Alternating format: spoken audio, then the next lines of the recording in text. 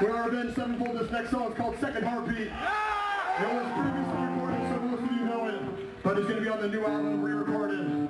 Thank you guys again. It means a lot. We'll be back soon.